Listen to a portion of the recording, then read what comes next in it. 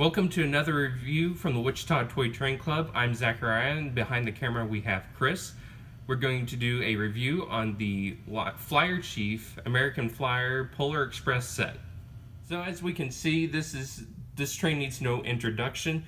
This is the Polar Express, as starred in the very popular Christmas movie and book. So let's go over some stats and facts on this locomotive. The locomotive can run either on AC or DC power, whether or not which one you want to run on. If you run with the uh, pack that comes with it, that runs DC, or most any other transformer is going to be AC. You have the choice be between running this with the Flyer Chief remote that comes with the set, or running the engine conventionally with just transform with just a transformer. There's uh, on and off switches for your lights and your smoke unit. Locomotive features a forward, neutral, and reverse operation. Diecast metal lo locomotive body and frame. Metal six-wheel trucks on the tender. Has the RC sound system from Lionel. A realistic background sounds. Operating headlight, directional LED head, uh, backup light on the rear of the tender. Fan-driven smoke unit and a powerful maintenance-free motor. So looking at the front of this locomotive, we can see that it has a very plain die-cast metal front. Again, this whole body's die-cast, so basically anywhere is going to be very little plastic. So we have a nice cow catcher, plenty of molded in details along the pilot. Up here we have our operating headlight, some painted on marker lights, and a little plastic bell up here. So as we can see on the side of the locomotive, we have our, again, very basic de detailed uh, molded in detail on our die-cast boiler. We have metal side frames along with the metal drivers along the side of the locomotive that look great when the locomotive's in operation. We have a nice crisp 1225 over here and some small lettering down here. So looking at the top of the locomotive, we can see we up here we have our feed water, uh, hot water heater, our smokestack, and just to add fluid into the smokestack, just pour it directly down the stack. We have a little bit of rivet detail, nice steam dome, sand dome, some pop-off valves, a couple other details along back here, and a couple rivets on top of the cab. So now we're going to take a look up inside the cab of this locomotive. As you can see, there's not a whole lot up inside there, but there's quite a bit on the uh, molded in into the uh, back head of the boiler. So looking on this tether between the engine and tender, Again, we can see it has that Flyer Chief or LionChief uh, tether, and it's supposed to be a really simple tether. holds very well even under uh, a decent load. So we're going to go through uh, how it works and everything again. So again, just to pop it up, it kind of pulls just straight out of your tender. And if we were going to go and reconnect it, we just have to have our sometimes the angle is kind of off. That's the only thing you kind of have to watch sometimes. You get that right up in there, and that makes an electrical connection between the locomotive and the tender. So the tender doesn't really have much pickup rollers, or it gives a bigger electrical footprint for the whole locomotive, so you don't die going over switches.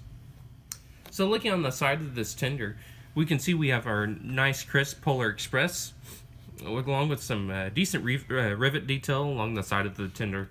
Down here we have some nice six-wheeled uh, trucks under the tender.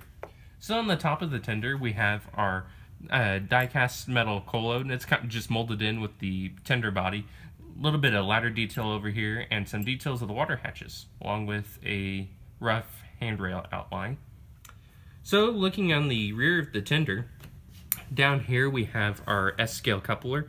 And if you're new to these, these just open if you just push this little tab up, and they open up just like that. Up Right up here, we have some legible info right above the coupler. Up here, we have a nice crisp 1225. A couple other molded in details along with a ladder. And up here, we have our market, uh, operating backup light.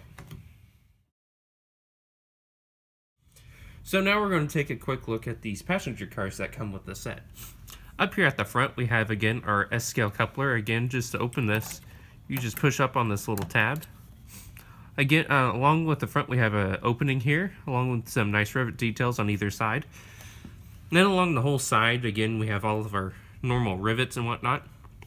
Over here, we have a molded in door with uh, plastic inserts and a little handle and step details. And along here we have, uh, in the windows, you can see we have our puppets and, and everything hanging from the ceilings inside the car. Up on the top, again, we have our nice crisp Polar Express. And uh, kind of a nice added touch compared to the O-scale model, we have our a simulated uh, snow-covered roof with it's just some white paint, but it adds some realism to the top of the car.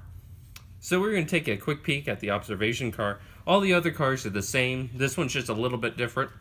Uh, of course, between all the cars, we're going to have a little bit of changes within what's inside the windows. Of course, down here we have our one boy, uh, along with our observation deck back here.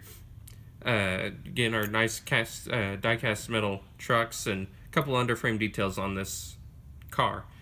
The uh, This car is supposed to be lighted. We're having a couple issues with it at this current time. But uh, when if you buy it brand new and comes out of the box, this car will be lighted. So here's a quick uh, peek at the uh, rear end. Again, we have our uh, nice observation deck, uh, little ruby crystal up here, along with uh, steps on the each side and our operating coupler.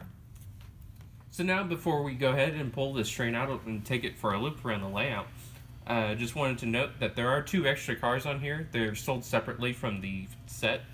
The cars, the add-on cars are the non-lighted baggage car and a non-lighted passenger car that doesn't have any silhouettes of people in it. So now we have uh, power to the track, and now we're going to get that annoying beeping until we turn on the remote.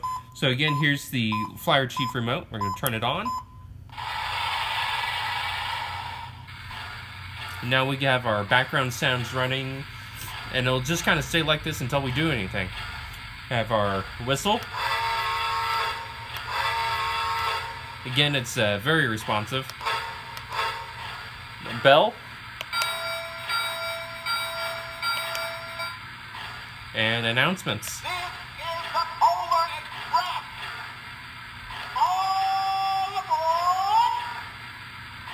Again, this has uh, some of the cuts from Tom Hanks from the actual movie. So you'll get uh, different ones every time you press this uh, announcement button. So now let's go ahead and take it for a loop around the layout.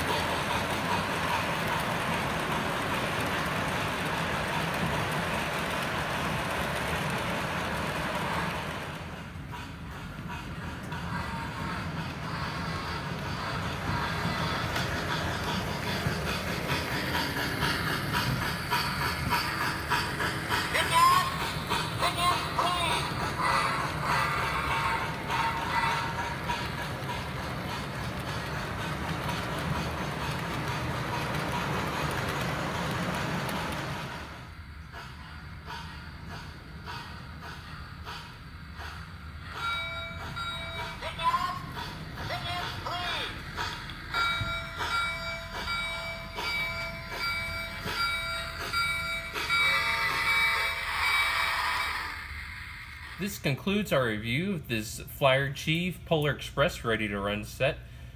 This was a Wichita Toy Train Club production. Remember to like us on Facebook and subscribe to us on YouTube. Thanks for watching.